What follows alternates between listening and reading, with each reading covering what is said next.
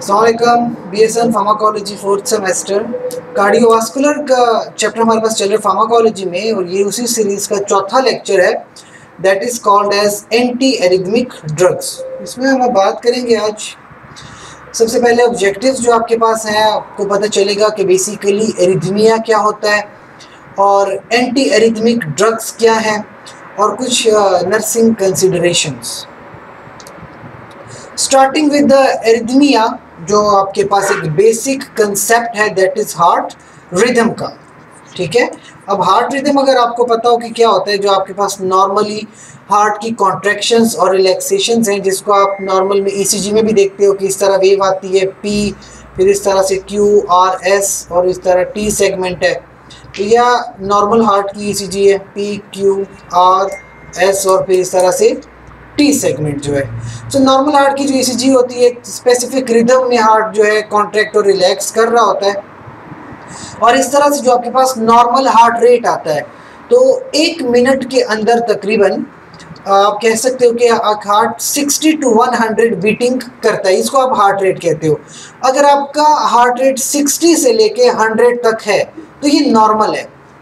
अब एबनॉर्मल क्या होगा? That would be called arrhythmia normal is rhythm जो आपके पास नॉर्मल रिदम है। और एबनॉर्मल है वी कॉल इट एरिथमिया यानी absence of rhythm absence of rhythm दो तरह का हो सकता है। या तो 60 से कम होगा, या फिर 100 से ज़्यादा होगा। उन टाइप्स की भी हम बात करते हैं बट वहाँ पे जाने से पहले आपको एक चीज़ ज़रूरी है समझना that is called as conduction system of the heart heart का कंडक्शन सिस्टम देखा जाए ना तो आपके पास ये जो हार्ट के सेल्स होते हैं हार्ट में दो तरह के सेल्स हैं। एक होते हैं सोडियम ड्रिवन सेल्स और एक होते हैं कैल्शियम ड्रिवन सेल्स ठीक है? अब अगर आप देखें तो हार्ट में एक जगह पे आपको एट्रियम एक स्पेसिफिक सेल्स दिखाई देते हैं, जिसको हम कहते हैं एस ए नोड फिर आपके पास एक और सेल्स हैं, जिसको आप ए वी नोड कहते हो। फिर उससे इस तरह से बंडल निकलती है कॉल्ड बंडल ऑफ़ हिस और वो नीचे आके वापस इस तरह ऊपर जा रही होती है we call them Purkinje fibres ठीक है? तो इसका conduction system of the heart कहते हो। ऐसे नोड से ऑटोमेटिकली वेव्स जनरेट होती हैं कॉन्ट्रैक्शन की। और इस तरह से एट्रिया में वो फैल जाती हैं। तो इस तरह से दोनों एट्रिया कॉन्ट्रैक्ट करते हैं। फिर ये वेव्स पहुँचती हैं एवी नोड की तरफ़। छोटा सा डिले आता है यहाँ पे, और एवी नोड से ये आती है वेंट्रिकल्स में। और इस तरह से फिर वेंट्रिकल्स में कॉन्ट्रैक्शंस आती हैं। तो क्योंकि ये वेव्स खुद ब खुद जनरेट हुई हैं this phenomena is called automaticity ये हार्ट की एक स्पेसिफिक प्रॉपर्टी है कि ये खुद से अपनी कॉन्ट्रैक्शंस जनरेट करता है। That's why we call it automaticity normally हमारे जिसम में अगर कोई मसल कॉन्ट्रैक्ट करता है दैट इज़ बिकॉज़ उसके पास जो है ब्रेन से न्यूरॉन्स आती हैं और वो कॉन्ट्रैक्शन ला रही हैं। हार्ट में ये प्रॉपर्टी होती है कि आप उसको जिसम से काट के बाहर निकाल दो। बाहर भी पड़ा होगा ना, तब भी वो कॉन्ट्रेक्शन और रिलैक्सेशन करेगा। दैट मीन्स कि ब्रेन का टोटली आप जो है कनेक्शन काट दो, फिर भी उसमें कॉन्ट्रेक्शन आ रही है। तो ये जो प्रॉपर्टी है हार्ट की, हम इसको ऑटोमेटिसिटी कहते हैं कि वो ऑटोमेटिकली कॉन्ट्रैक्ट करता है। अब आते हैं एरिथमिया पे, ये जो आपको टेबल दिखाई दे रहा है ब्लू कलर का, इसमें आप देख सकते हो कि नॉर्मल रेंज क्या है? Normal range is from 60 to 100 ठीक है? अगर 60 से हार्ट रेट कम है that will be called is bradyarrhythmia ये जैसे ब्रेडी कार्डिया होता है हार्ट रेट कम हो जाता है, इसको ब्रेडी एरिथमिया कहते हैं। और अगर 100 से ऊपर जा रहा है it would be called tachyarrhythmia tachycardia जैसे होता है। अब इसके लेवल्स हैं। अगर आप 150 टू 200 है, थोड़ा कम tachyarrhythmia we call it paroxysmal tachyarrhythmia 350 तक है it would be called atrial flutter और इवन 500 तक आ गया it would be called atrial fibrillations यानी बहुत सीवियर कंडीशन है ये। अब आते हैं एरिथमिया का जो जनरल कंसेप्ट हमने पढ़ा कि ऑटोमेटिसिटी स्टार्ट हुई थी साइनस नोड से, यानी ऐसे node sino atrial node atria atria में वो फैला, उसके बाद वो पहुँचा एवी नोड तक। और एवी नोड से फिर वो वेंट्रिकल्स में जो आपके पास है इम्पल्सिस वो फैल गई। If this is the heart और आपके पास यहाँ पे ऐसे नोड है, यहाँ पे होते हैं एवी नोड और फिर इस तरह से बंडल ब्रांचेस आती है एंड देन परकिंजी फाइबर्स इस तरह वेंट्रिकल्स में। तो ऐसे नोड से रिदम स्टार्ट हुआ एट्रिया में। एट्रिया से आ गया वो एवी नोड में, और एवी नोड से देन वो वेंट्रिकल्स में गया। नाउ जो हमने बात की कि हार्ट में जो है दो तरह के सेल्स होते हैं। एक वो सेल्स हैं जो कैल्शियम ड्रिवन है, यानी जो कैल्शियम उनमें आएगी तो उनमें कॉन्ट्रेक्शन आएगी। और एक वो है जो सोडियम ड्रिवन है, जिनमें सोडियम के थ्रू जो गैप जंक्शंस होते हैं और सोडियम के थ्रू जो है कॉन्ट्रैक्शंस आती हैं। अब यहाँ पे ज़रूरी बात क्या है? जो कैल्शियम ड्रिवन सेल्स है ना, उनमें होती है ऑटोमेटिसिटी जैसे आपने देखा एस ए नोड था ए वी नोड था बंडल ब्रांचेज हैं। ये वाले परकिंजी फाइबर्स जो मैंने आपको कंडक्टिव सिस्टम दिखाया है दिस इज़ कैल्शियम ड्रिवन यहाँ पे कैल्शियम होती है कैल्शियम आती है और कॉन्ट्रैक्शंस लेके आती है। बाकी जो मसल है कार्डियक मसल वो आपके पास सोडियम ड्रिवन है।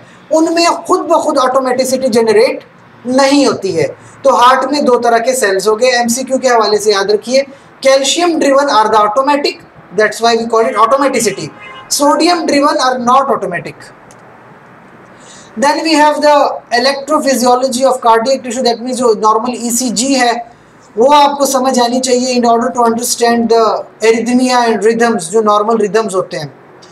एक डायग्राम के थ्रू अगर हम समझना चाहें कि ये जो कार्डियक कॉन्ट्रैक्शंस हैं इसमें क्या क्या इन्वॉल्व है। सो so, एक बेसिक आपके पास इम्पल्स जनरेशन कैसे होती है डिपोलराइजेशन और रिपोलराइजेशन क्या है इसको बेसिकली हमें समझना होता है। मायोकार्डियल जो एक्शन पोटेंशियल है एक्शन पोटेंशियल आप जानते हैं कि जब भी कॉन्ट्रैक्शन आती है, वो एक्शन पोटेंशियल के ज़रिए आती है। और एक्शन पोटेंशियल ऑटोमेटिक टिश्यूज जिनमें ऑटोमेटिसिटी है as already called it calcium driven और non automatic tissue that are the sodium channels so दोनों का मार्डियो एक्शन पोटेंशियल डिफरेंट है। एरिथमिया की जहाँ तक बात है that is disturbances in the heart rate, disturbance in the rhythm, or we can say impulse generation, जो आपके पास एक्शन पोटेंशियल जनरेट होता है। और कंडक्शन ऑफ़ इलेक्ट्रिकल इम्पल्सेस जो इम्पल्स की कंडक्शन है। जैसे ए नोट से इम्पल्स कंडक्शन स्टार्ट हुई ए वी नोट तक गई तो ये जो फाइबर्स हैं, इनमें कहीं पे प्रॉब्लम आ सकती है विच वुड बी कॉज जो कि एरिथमिया कॉज करेगा। These disturbances they can call, uh, cause cardiac function disturbance and it can be life threatening जैसे fibrillations are life threatening देखिए fibrillation का नुकसान क्या है जब हार्ट रेट बढ़ता है ना तो हार्ट इतनी तेज़ी से पंप कर रहा है कि हार्ट को टाइम ही नहीं मिलता कि प्रॉपर ब्लड की फिलिंग हो तो हार्ट रेट ज़्यादा होने का मतलब है कि कार्डियक आउटपुट कम होता है और कार्डियक आउटपुट के कम होने का मतलब कि आपकी टिश्यू परफ्यूजन कम हो जाती है तो हार्ट रेट का ज़्यादा होने का मतलब कि कार्डियक आउटपुट भी कम हो रहा है। ना एंटी एरिथमिक ड्रग्स क्या हैं? वो कंपाउंड्स या वो ड्रग्स जो कार्डियक एरिथमिया को प्रिवेंट करें। So now we have the understanding mechanism of arrhythmia जिसमें आपको पता चलता है कि एरिथमिया अगर होता है तो वो कैसे जनरेट करता है। दो मैकेनिज्म है यानी दो वजूहत हो सकती हैं एरिथमिया कॉज होने की। पहली चीज़ इम्पल्स जनरेशन ये जो आपके पास एक्शन पोटेंशियल जनरेट हुआ है ना कैल्शियम ड्रिवन सेल्स में इम्पल्स जनरेशन में मसला है। चाहे एबनॉर्मल ऑटोमेटिसिटी है, यानी ऐसे नोड से जो इम्पल्स जनरेट हो रही है, वहाँ पे डिस्टर्बेंस है, या डिलेड आफ्टर डिपोलराइजेशन इसको कहते हैं D A D delayed after depolarization तो मैं आपको समझाता हूँ फिर कि डीपोलराइजेशन और रीपोलराइजेशन क्या होती है।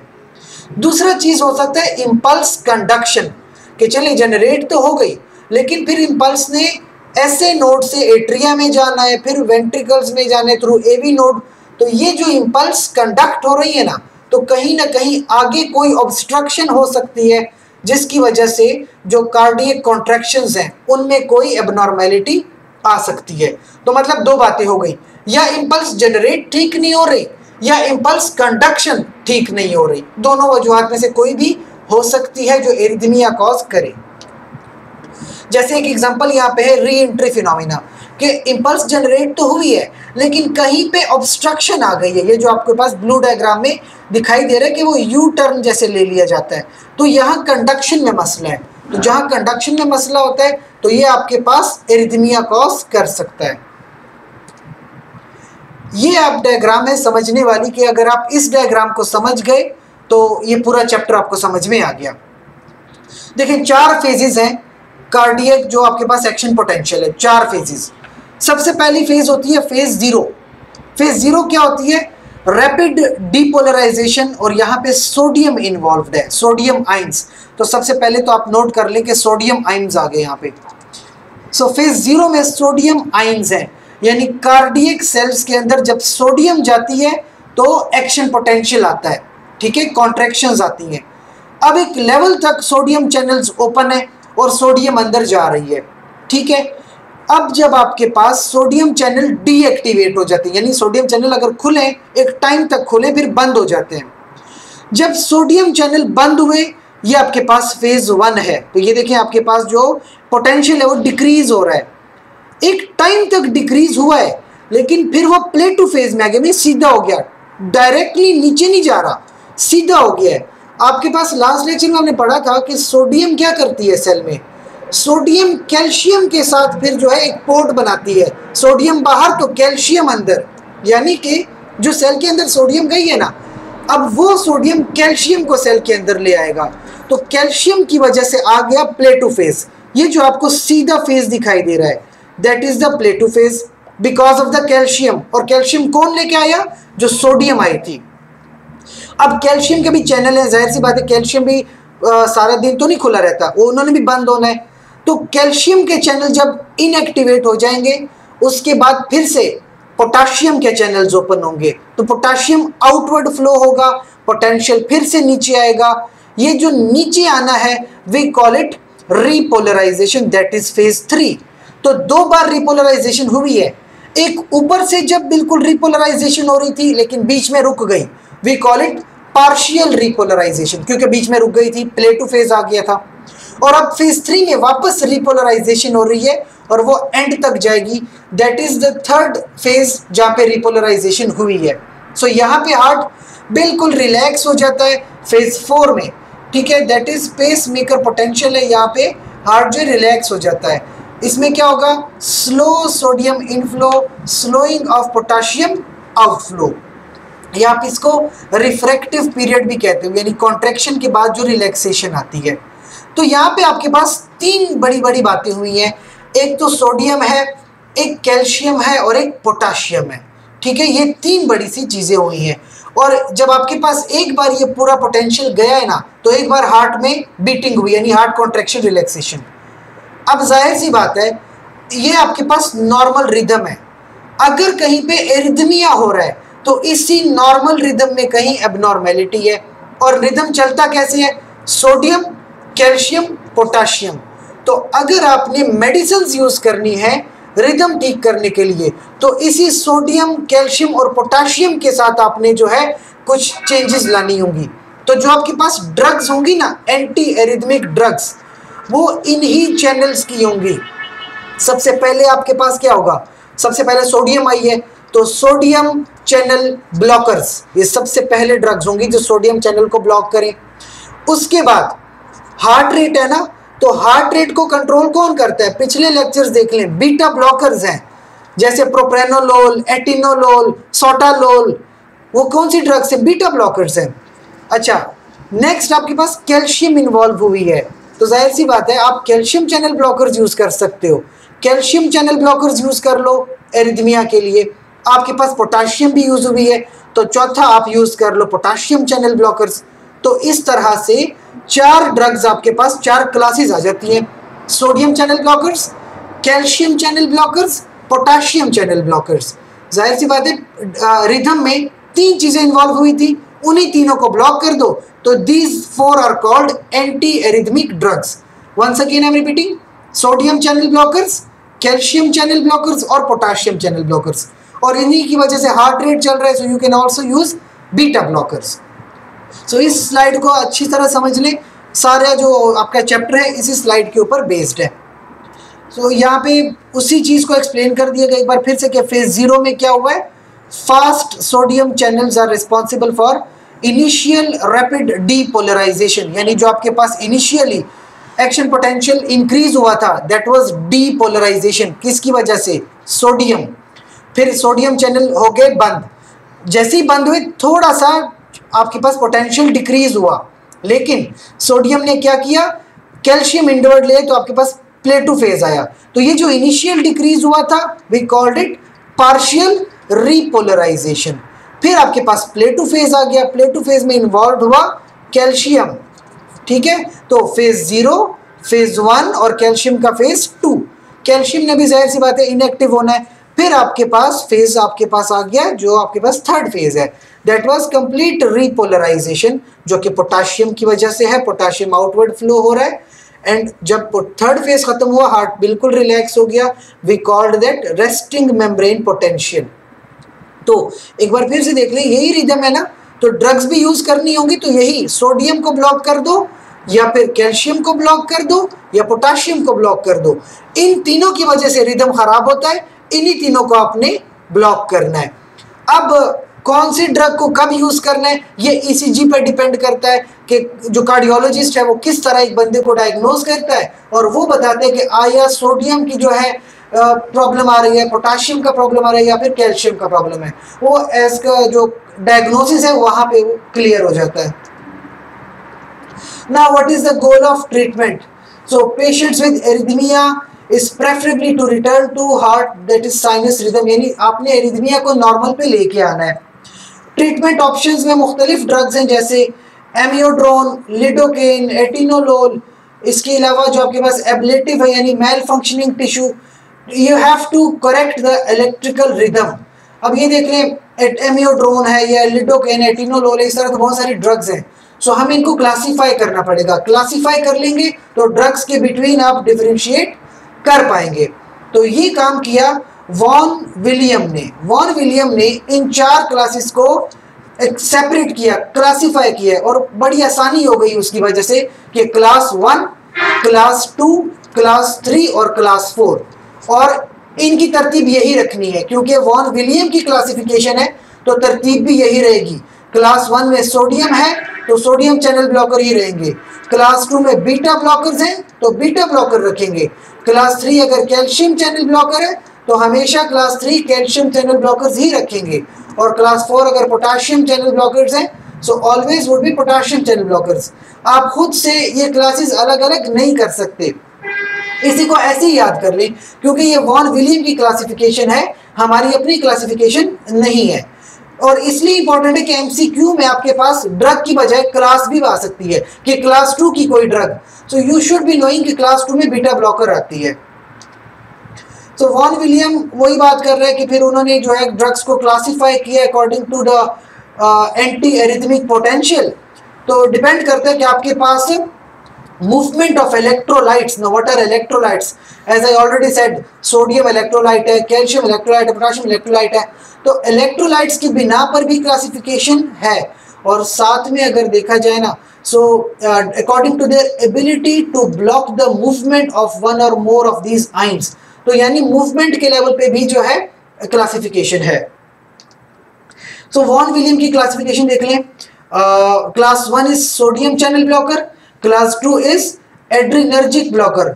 और यहाँ पे छोटी सी मिस्टेक है आ, मैंने क्लास थ्री को कैल्शियम चैनल ब्लॉकर कहा लेकिन according to Vaughan William class three is potassium channel blockers. तो यहाँ पे मैं खुद गलती कर गया हूँ ये बात आप याद रखें class three is potassium channel and class four is a calcium channel blocker. तो इसको इसी तरह से याद रखें। कुछ अदर ड्रग्स में आती हैं एडिनोसिन डाइजॉक्सिन और एट्रोपिन और ये तीनों लाइफ सेविंग ड्रग्स हैं। डाइजॉक्सिन लास्ट लेक्चर था हमारे पास। एट्रोपिन और एडिनोसिन बहुत यूजफुल ड्रग है और ये भी लाइफ सेविंग ड्रग में आती है। सो so, यहाँ तक आपके पास एक बेसिक कंसेप्ट है कि एरिदमिया क्या है और एंटी एरिदमिक ड्रग्स क्या है। सो व्हाट वाज एरिदमिया के कई सोडियम कैल्शियम पोटाशियम में डिस्टर्बेंस आ रही है। विच विच कॉज एरिदमिया और एंटी एरिथमिक ड्रग्स क्या हैं, उन्हीं सोडियम पोटाशियम कैल्शियम को कंट्रोल करना, वो ड्रग्स एंटी एरिथमिक ड्रग्स हैं। Starting with the sodium channel blockers तो सोडियम चैनल ब्लॉकर्स जो है ना सोडियम चैनल बॉडी में बहुत सारे होते हैं। तो सोडियम चैनल ब्लॉकर भी तीन क्लासेस में डिवाइडेड है। क्लास वन है तो क्लास वन ए भी हो सकता है क्लास वन बी भी हो सकता है और क्लास वन सी भी हो सकता है। फ़र्क क्या होगा? जो आपके पास क्लास वन ड्रग्स है क्लास वन ए ड्रग्स वो क्या करती है? They block the fast sodium channels जो आपके पास फ़ेज़ ज़ीरो वाले थे। फास्ट सोडियम चैनल को ब्लॉक कर देते हैं। उससे क्या होगा?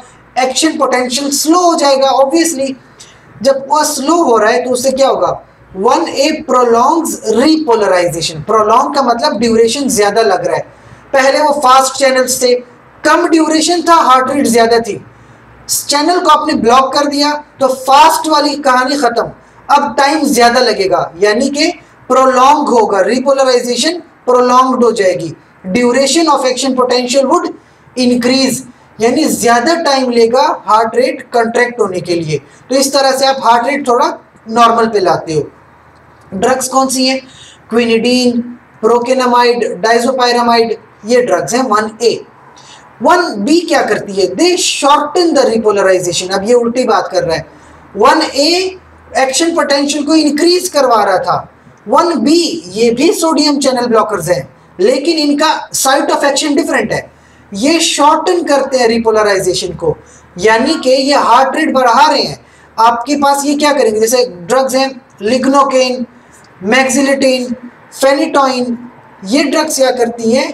ये ड्यूरेशन को कम करती हैं, यानी रिपोलराइजेशन वुड इंक्रीज इसके अलावा वन सी क्या करती है? They have the little effect on repolarization but they are the most potent drugs ठीक है? ज़्यादा पोटेंसी है। थोड़ी सी डोज देंगे और बहुत इफ़ेक्ट आएगा। और रिपोलराइजेशन पे इनका कम इफ़ेक्ट है। ठीक है? एनकेनाइड फ्लिकेनाइड प्रोपाफिनोन ये तीनों drugs one A one B one C these are sodium channel blockers या तो रिपोलराइजेशन को बढ़ाएँगी या रिपोलराइजेशन को डिक्रीज करवाएँगी। सो so, उसी स्लाइड को रिपीट किया गया यहाँ पे कि वन ए क्या करती है? रिपोलराइजेशन को प्रोलॉन्ग किया। यानी ड्यूरेशन ज़्यादा लग रहा है। वन बी ने रिपोलराइजेशन को कम किया यानी हार्ट रेट जल्दी होगा। और थर्ड जो आपके पास है, उसका रिपोलराइजेशन पे इफ़ेक्ट है, लेकिन कम इफ़ेक्ट है बट है ये potent drugs encainide flecainide propafenone means इनकी जो डोज है, बहुत स्मॉल है.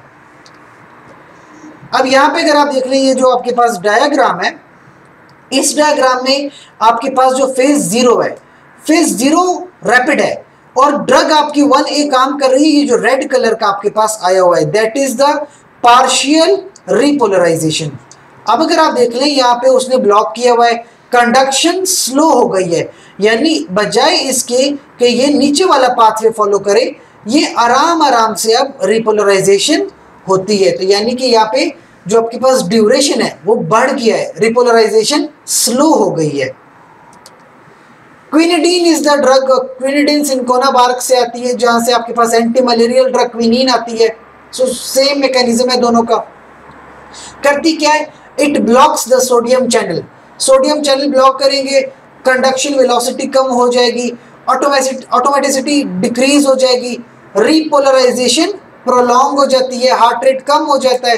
तो देख लें फ़ेज़ ज़ीरो रिपोलराइजेशन डिक्रीज हो जाती है, जो फास्ट सोडियम चैनल थे, कम हो गए हैं। APD action potential duration increase हो गया है। ERP effective refractory period increase यानी ज़्यादा टाइम लगेगा हार्ट को रिलैक्स होने में। उसके बाद यूजेस क्या है? अगर एरिथमिया आता है, चाहे एट्रियल हो, चाहे वेंट्रिकुलर हो, यानी चाहे एट्रिया के रिदम में फ़र्क है या वेंट्रिकल दोनों कंडीशंस में क्विनिडीन यूज़ हो सकती है। एडवर्स इफेक्ट्स क्या है? Heart block hypotension QT prolongation obviously वो टाइम इंटरवल बढ़ गया तो क्यूटी प्रोलॉन्ग हो गया है। अदर एडवर्स इफेक्ट्स जीआईटी पे क्या है? थ्रोम्बोसाइटोपिनिया जीआईटी के एडवर्स इफेक्ट्स हैं हेपेटाइटिस इडियोसिंक्रेटिक रिएक्शंस हैं यानी एडवर्स इफेक्ट्स में आ जाते हैं।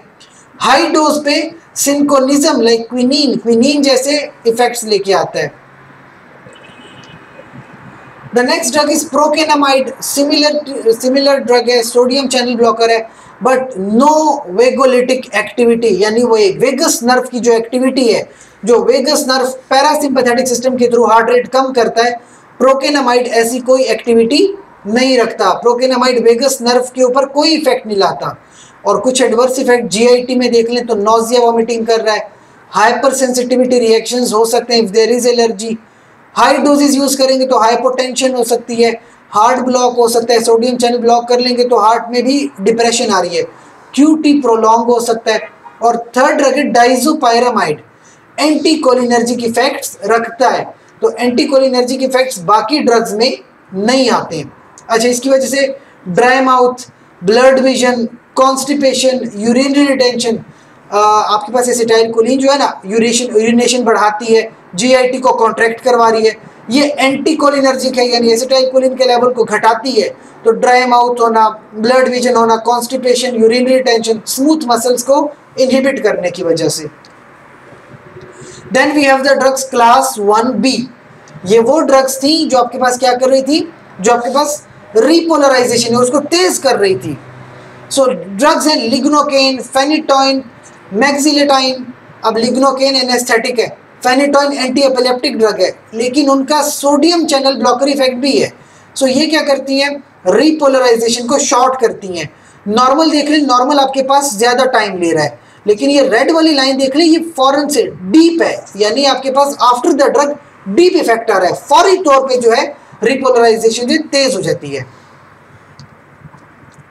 Lignocaine that is a local anaesthetic करती क्या है? Raises the threshold for action potential यानी थ्रेशोल्ड बढ़ा देती है। अगर पहले फ़र्ज़ कीजिए माइनस थर्टी फाइव पे एक्शन पोटेंशियल आ रहा था, अब आपके पास माइनस टेन पे एक्शन पोटेंशियल आ सकता है। यानी कि हार्ट जो अगर कॉन्ट्रेक्शन करेगा तो एक्शन पोटेंशियल ज़्यादा हो, तब जाके कॉन्ट्रेक्शन करेगा। नॉर्मली उसमें कॉन्ट्रेक्शन नहीं आएगी। ऑटोमेटिसिटी डिक्रीज है। यानी जिस तरह फौरी तौर पे हार्ट कॉन्ट्रेक्शन कर रहा था बिकॉज़ ऑफ़ द ड्रग अब वो हार्ट की कॉन्ट्रेक्शन कम हो गई है। साथ में suppresses electrical activity of arrhythmogenic tissues वो टिश्यूज के जिसमें एरिथमिया आता है, वहाँ पे इलेक्ट्रिकल एक्टिविटी सप्रेस हो गई है, दबा दी गई है। इसका नुकसान हाई फ़र्स्ट पास है, और यानी फ़र्स्ट पास मेटाबॉलिज्म ज़्यादा तो ओरली ड्रग यूज़ नहीं कर सकते, ज़्यादा अच्छा पारेंट्रली दी जाए। यूजिस वेंट्रिकुलर एरिथमिया स्पेसिफिकली तब यूज़ की जाती है जब वेंट्रिकल में एरिथमिया आ रहा है।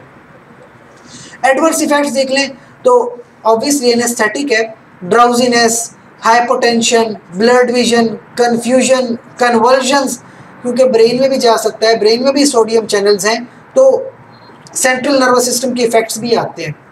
थर्ड ड्रग इज़ फेनिटोइन जो असल में तो एंटी एपिलेप्टिक ड्रग है but it is also use in ventricular arrhythmia because of the sodium channel blocking activity mexiletine देख लें it can be given orally neurological adverse effects इसके भी आते हैं, जैसे ट्रेमर्स होना ब्लड विजन होना नोजिया हो जाना and it is use as alternative to lignocaine anaesthetic use करने की बजाय mexiletine is more better drug in case of ventricular arrhythmia then we have the third class that is class one C जिसमें propafenone है फ्लिकेनाइड है एनकेनाइड है। है क्या sodium channel blockers ये भी सोडियम चैनल को ही ब्लॉक कर रहे हैं। और ये क्या करते हैं? रिपोलराइजेशन पे मिनिमम इफ़ेक्ट है। यानी जो आपके पास पिछली ड्रग्स थी, या तो रिपोलराइजेशन को इनक्रीज कर रही थी, या रिपोलराइजेशन को डिक्रीज कर रही थी। इनका रिपोलराइजेशन पे मिनिमम इफ़ेक्ट आता है। इसकी एक और वजह भी है, इंतहाई पोटेंट ड्रग्स हैं। तो अगर ज़रा से अभी आपने डोज बढ़ा दी ना तो ये डायरेक्टली हार्ट को ब्लॉक करता है, जिसकी वजह से कार्डियक अरेस्ट हो सकता है सडन डेथ हो सकती है।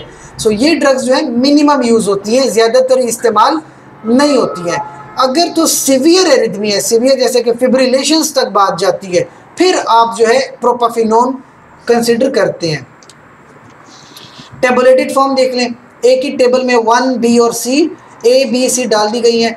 ए क्या है? क्विनिडीन प्रोकेनामाइड डाइजोपाइनामाइड ये दोनों में यूज़ होती हैं। एट्रियल भी और वेंट्रिकुलर भी।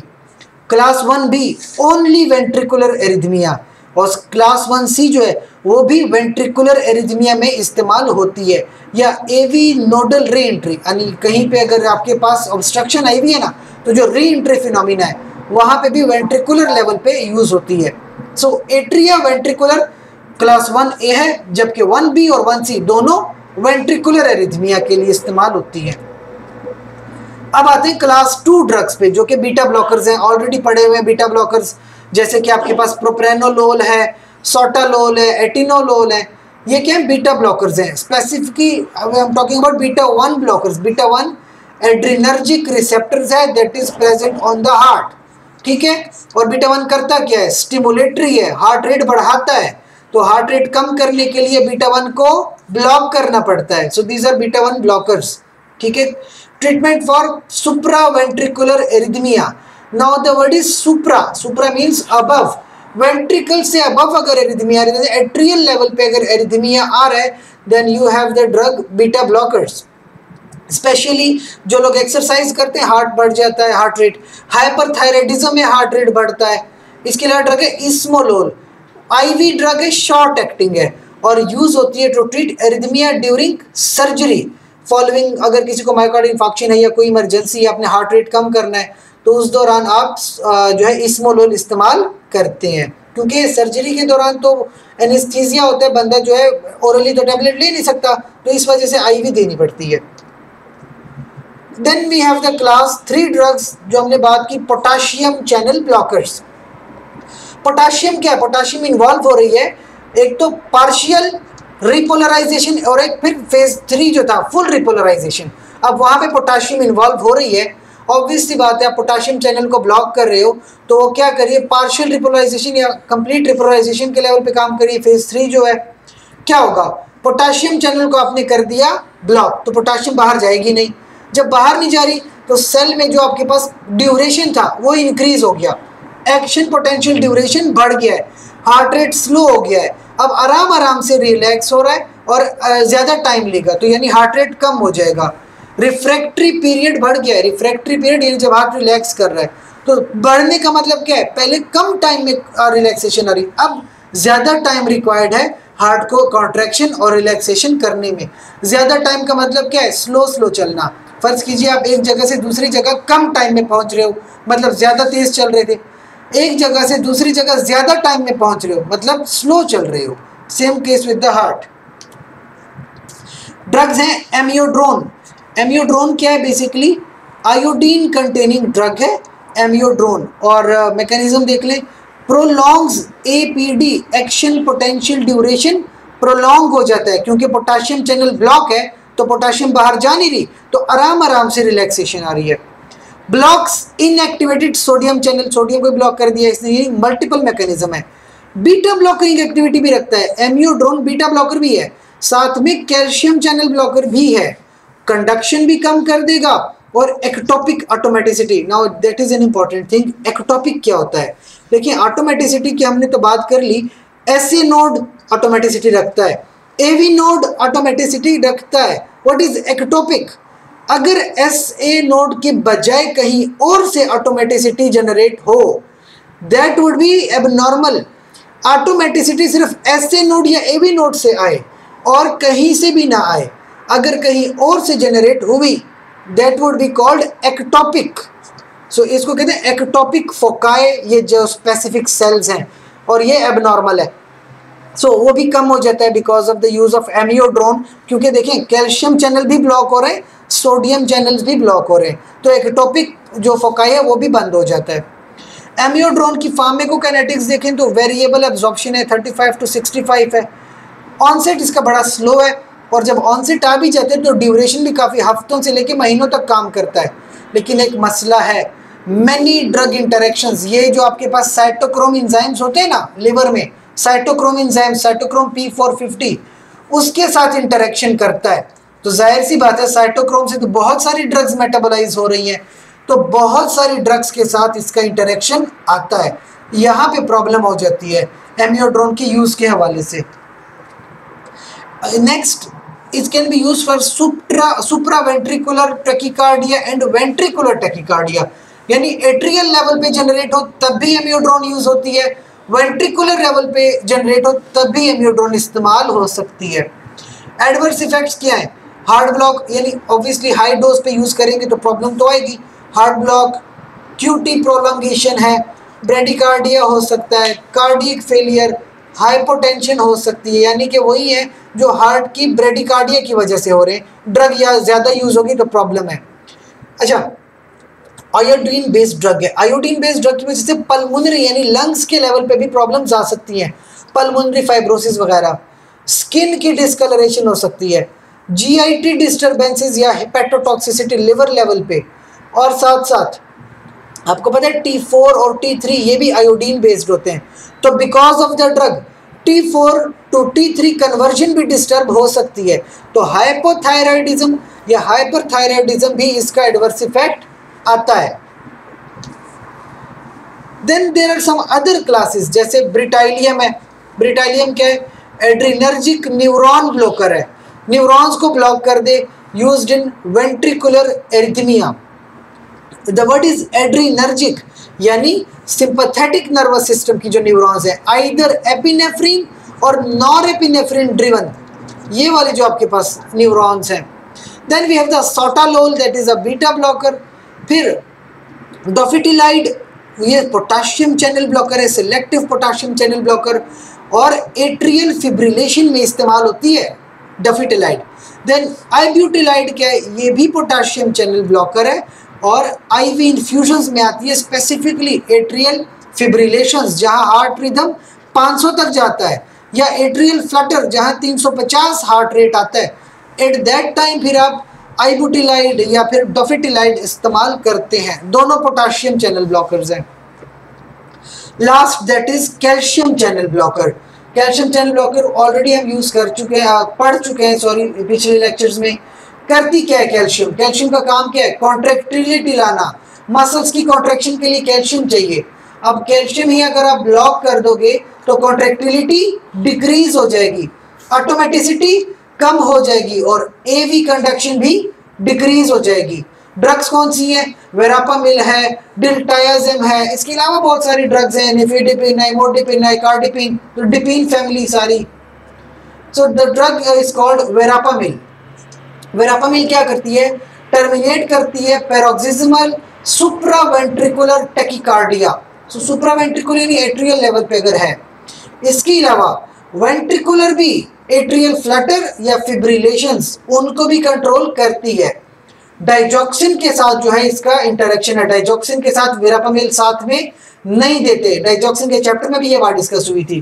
क्या करती है? डाइजॉक्सिन को अपने लेवल से डिस्प्लेस करवा देती है और डाइजॉक्सिन के सीरम लेवल चेंज हो जाते हैं। सो दैट्स वाई ये रिस्क फैक्टर पर डाइजॉक्सिन को डालती है। सेकेंडली डाइजॉक्सिन की रीनल क्लियरेंस कम कर देती है। तो जब रीनल क्लियरेंस कम हो जाएगी तो सीरम लेवल बढ़ जाएँगे जो नुकसानदेह साबित हो सकता है। सो so, डाइजॉक्सिन के साथ वेरापामिल एक साथ नहीं देते। Then we have the drug called adenosine very useful drug life saving drug that is adenosine करती क्या है? प्यूरिन न्यूक्लियोटाइड है। एडिनोसिन आपने पढ़ा होगा एटीपी एडिनोसिन ट्राइफॉस्फेट डीएनए में है एडिनिन गुआनिन थाइन एडिनिन की तरह की ड्रग है एडिनोसिन न्यूक्लियोटाइड है। Very short acting and rapid acting फौरी तौर पे काम करती है। मैकेनिज्म इसका सुने आप। सबसे पहले पोटाशियम चैनल ब्लॉकर है। एसिटाइल कोलिन के सेंसिटिव पोटाशियम चैनल अच्छा इसके साथ साथ मेम्ब्रेन की हाइपर पोलराइजेशन या मैंने वर्ड यूज़ किया ब्लॉकर सॉरी ये ब्लॉकर नहीं है। सेंसिटाइजर है। यानी सेंसिटिविटी लाता है, उसका स्टिमुलेंट है। अब हाइपर पोलराइजेशन लाता है। एक और चीज़ एडिनोसिन के अपने रिसेप्टर भी हैं। कॉल्ड एडिनोसिन रिसेप्टर दो हैं। ए वन और A two A one inhibitory है ए टू स्टिम्युलेटरी है। सो so, ये क्या करता है? ए वन लेवल पे काम करता है यानी इनहिबिशन लेके आता है। देखिए A one type of adenosine receptors है। एस ए नोट पे। ऐसे नोट जहाँ से ऑटोमेटिसिटी आती है तो उस लेवल पे इनहिबिशन लेके आता है। Then IV suppresses automaticity AV conduction is suppressed coronary vessels dilate करते हैं ब्लड फ्लो भी बेहतर बनाता है।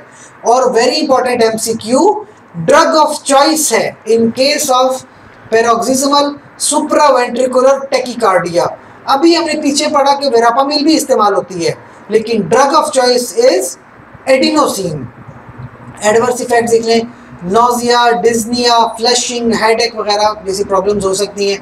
और ड्रग्स हैं एट्रोपिन बहुत यूजफुल ड्रग है लाइफ सेविंग ड्रग है। एट्रोपिन क्या है? पैरासिम्पैथोलाइटिक है। जब पैरासिम्पैथेटिक ब्लॉक कर दोगे तो ऑलरेडी हार्ट रेट तेज हो जाएगा। तो ब्रेडिकार्डिया के लिए बड़ी अच्छी ड्रग है। अच्छा डिजिटलिस जहाँ से डाइजॉक्सिन आती है एट्रियल फिब्रिलेशन से बड़ी अच्छी है एट्रियल फ्लटर में डाइजॉक्सिन यूजफुल ड्रग है। मैग्नीशियम सल्फेट तब जगह डाइजॉक्सिन की वजह से एरिथमिया होता है। You can use magnesium sulphate then tableted form है। कि आपके पास ये ड्रग्स जो हैं, अगर ड्रग ए वी नोड पे काम कर रही है तो वेरापामिल डिल्टायाजम दोनों कैल्शियम चैनल ब्लॉकर हैं। एडिनोसिन ये आपके पास मुख्तलिफ़ मैकेनिज्म है लाइफ सेविंग ड्रग है। डाइजॉक्सिन बीटा ब्लॉकर्स ये सारी ए वी नोड लेवल पे काम करती हैं। वेंट्रिकल्स में देख लें lignocaine mexiletine phenytoin sodium channel blockers हैं। वेंट्रिकुलर एरिथमिया में यूज़ हो रहे हैं, जबकि ए वी नोड वाले सुप्रावेंट्रिकुलर और टेकिकार्डिया में यूज़ होते थे। अच्छा एट्रिया वेंट्रिकल और एक्सेसरी पाथवे जो दोनों लेवल पे काम करे एट्रिया में भी वेंट्रिकल में भी तो जो क्लास वन वाली ड्रग्स याद होगा क्विनिडीन डाइजोपायरामाइड इसके अलावा एमियोड्रोन फ्लिकेनाइड प्रोकेनाइड प्रोपाफिनोन ये यूजफुल हैं दोनों सुप्रावेंट्रिकुलर भी और टेकिकार्डिया में भी। यहाँ तक तो मेडिसिन हो गई। अब कुछ नर्सिंग कंसिडरेशन है कि एज अ नर्स आपकी क्या ड्यूटीज़ बनती हैं सो so, सबसे पहले तो कॉन्ट्राइंडिकेशन चेक कर लें।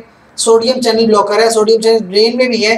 तो देख लें कहीं साइकोलॉजिकल इश्यूज़ तो नहीं है। इसके अलावा हार्ट रेट चेक कर लें पहले से। रिनल डिस्फंक्शन देख लें हार्ट ब्लॉक्स देख लें हाइपर सेंसिटिविटी चेक कर ली जाए। क्योंकि इन मेडिसिन में ना आप ज़्यादा रिस्क अफोर्ड नहीं कर पाते।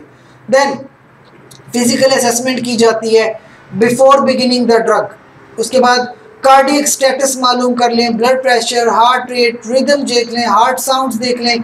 सबसे पहले तो डायग्नोज किया जाता है ना पेशेंट को कि एरिदमिया है तो कौन से वाला है?